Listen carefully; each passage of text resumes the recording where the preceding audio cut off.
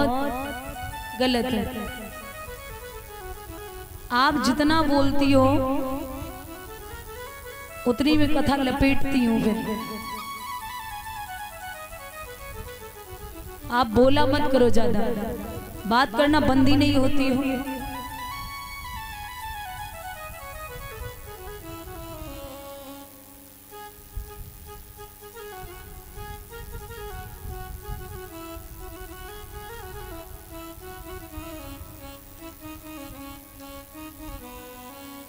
महाराज।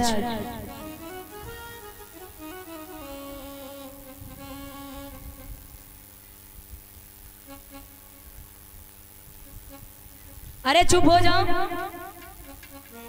कितना बोलती हो?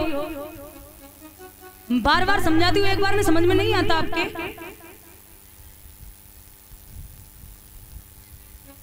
शांति में बैठी रहिए थोड़ी देर।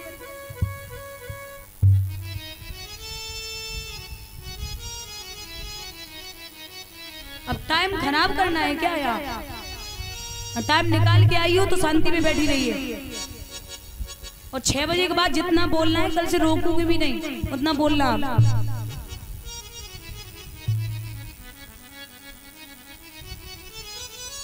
बोली बाल कृष्ण भगवान की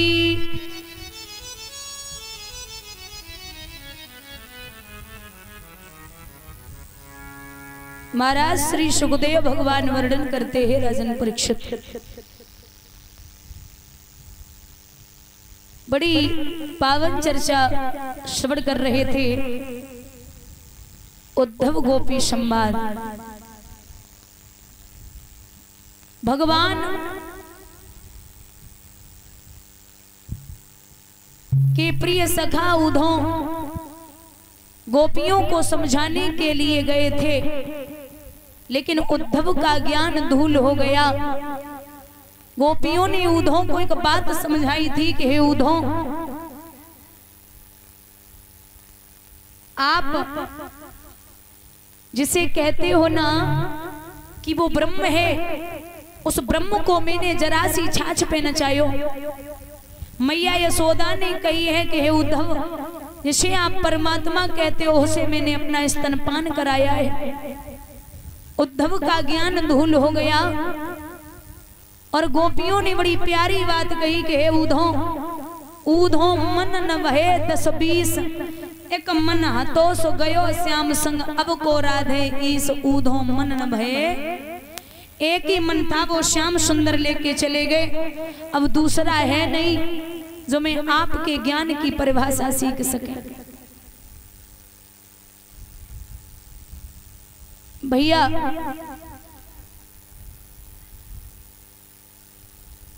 यहाँ महीनों तक रुके, वापस आए। ये जो जरा सिंध की बेटियाँ हैं, अस्थि और प्राप्ति, जो कंस की पत्नियाँ थी, वो अपने पिता जरा सिंध के पास पहुँची और जवाब दिया, पिताजी, आपके रहते हुए आपकी बेटियाँ रढ़ापा भोग रही हैं, ये तो गलत है। जरासिंध ने सत्रह बार मथुरा नगरिया पर हमला बोला। अठारहवें बार काले वन को लेके गया तो भगवान काले वन को देख के रड़ छोड़ के भागे। उसी दिन गोविंद का नाम पड़ गया रड़ छोड़। बोलिए रड़ छोड़ भगवान की। रड़ छोड़ के भागे, एक प्रवर्षण नाम की गुफा में प्रभु ने प्रवेश किया। जहाँ मानधाता के पुत्र मुचकुंद जी सो रहे थे। भगवान ने अपना पीतांबर मुचकुंद जी के ऊपर डाल दिया। काले बन पीछे पीछे गया। भगवान तो अंदर गुफा में घुस गए। लेकिन काले बन ने विचार किया कि ये कृष्ण है।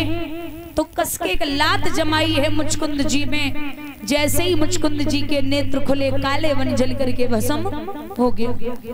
क्यों? क्योंकि महाराज जब देवताओं का दैत्यों का युद्ध चल रहा था तो ये राजा महीनों तक, वर्षों तक जगे। जब युद्ध समापन हुआ तो देवताओं ने इन्हें वरदान दिया था कि जाओ, आप उस गुफा के अंदर सोना जाके लेकिन जो आपको कच्ची नींद जगा देगा, वो आपके नेत्र खुलते ही भस्म हो जाएगा। तो काले वन भस्म हुआ। भगवान ने मुचकुंद जी को दर्शन दिए। वहाँ जरासन ने उस गुफा के चारों तरफ़ आग लगवा दी। भगवान वहाँ से कूदे हैं। समुद्र के अंदर एक नगरी बसाई है प्रभु ने, जिस नगरी का नाम है द्वारिका। ये भागवत रहस्य का प्रमाण है कि द्वारिका की लंबाई है साढ़े चार सौ कोस और चौड़ाई है ढाई सौ कोस। इतनी लंबी चौड़ी थी द्वारिका नगरी। भगवान के बड़े भैया, जिनका नाम है बलराम, उनकी शादी आनर्ताधिपति श्रीमान रेवतो रेवती सुताम, ब्रह्माणायोदिताम प्रादात बालेति परोदितम।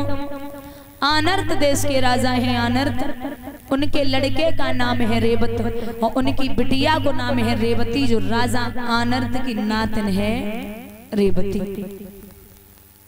उनकी शादी भगवान के बड़े भैया बलराम जी के साथ में हुई।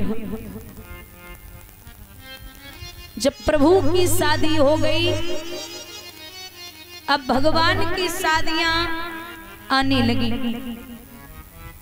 तो प्रभु का पहला विवाह कब, कैसे, कहाँ पर और किसके साथ में हुआ है?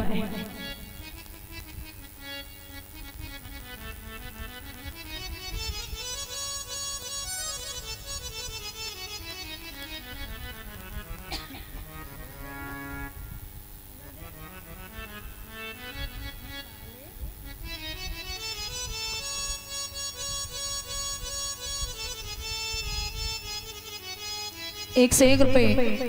राम रहीस भैया परिचालक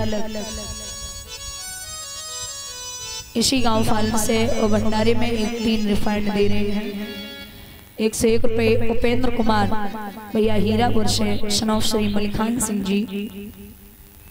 सौ रुपए सिंटू यादव मुबारकपुर से आए हुए। और ये इक्यावन रुपए और एक चांदी का सिक्का। सुखबीर सिंह भैया उर्फ़ अल्लू भैया की तरफ़ से, जो चांदी का सिक्का प्रदान किया गया। भगवान से कामना करती हूँ, हे गोविंद, ऐसे भाइयों के घर में हमेशा सोने चांदी के भंडार भरे रहे। ठाकुर जी की असीम अनुकंपा बनी रहे। जो भी इच्छाएँ हों वो पूर्ण होती रहे। और माँ भगवती कृपा दृष्टि बनाए रखे। हमेशा धर्म के कार्यों में इनके हाथ आगे को बढ़ते रहे। यही गोविंद से कामना है। बोली वाले कृष्ण भगवान की। मेरे भैया भगवानम भीष्मक सुताम रुक्मिणी रुचिरानानम। राक्षसनेन विधानेन उपए इति श्रुतम। एक राजा हुए हैं विदर्भ देश के, जिन्हें कुंदनपुर का राजा भी कहा जाता है, जिनका नाम है भीष्मक। उनके बेटों में एक बिटिया है, जिसका नाम है रुक्मणी। रुक्मणी दिखने में बहुत सुंदर है। एक दिन रुक्मणी सखियों के साथ में छिपा छिपी का खेल खेल रही है। तो रुक्मणी की माँ ने देखा,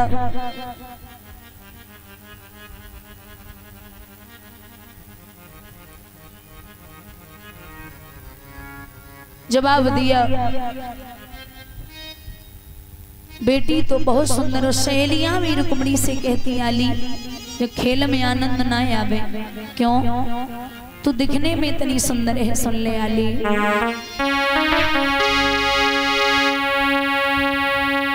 ये तो मैंने माना, दीदी, और सुंदरता भरपूर है। और ये तो मेहमान राम की। हमारा क्या कसूर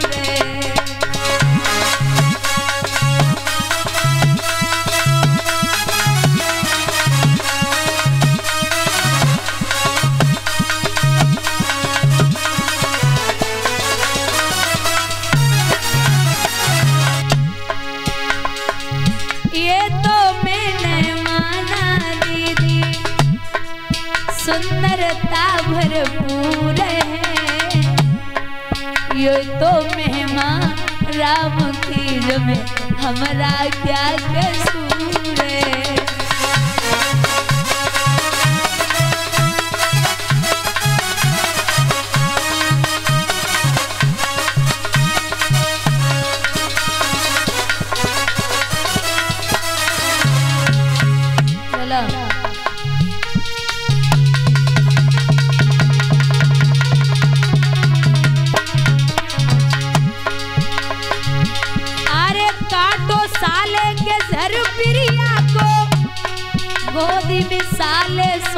को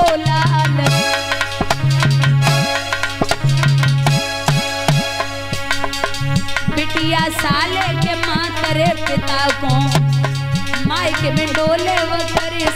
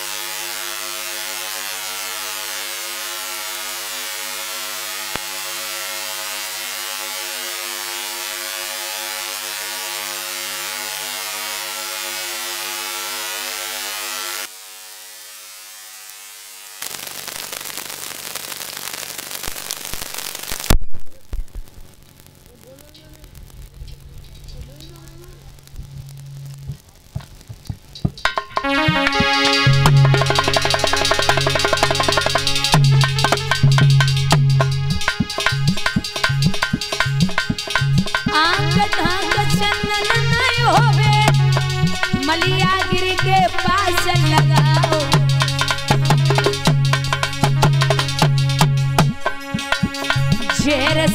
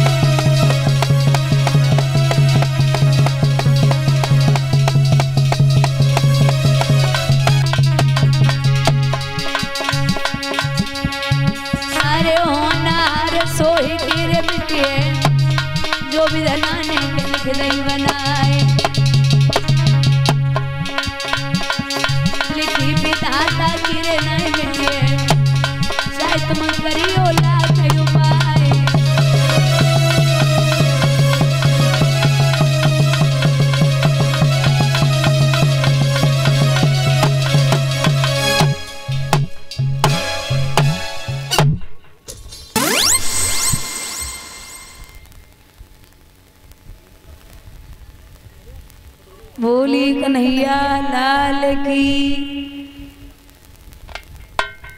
भैया।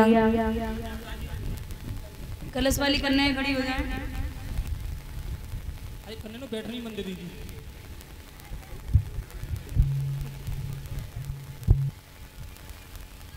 महाराज। रुक्मणी जब धीरे धीरे बड़ी हो रही है तो रुक्मणी की माँ ने